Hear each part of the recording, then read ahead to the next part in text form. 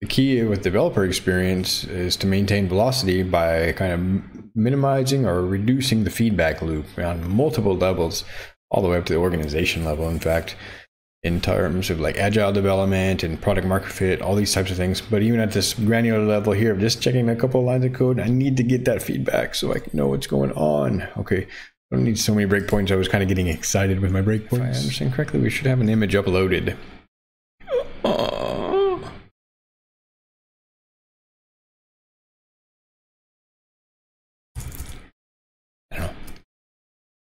I haven't run a migration or something.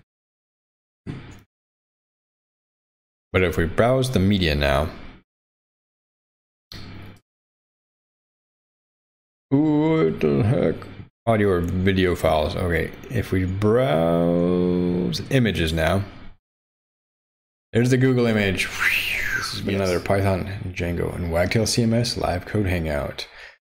Thanks, uh, Captain J, for stopping by. It's nice to have somebody to chat with. And thank you for pointing out my stream audio was not coming through. There was some difficult.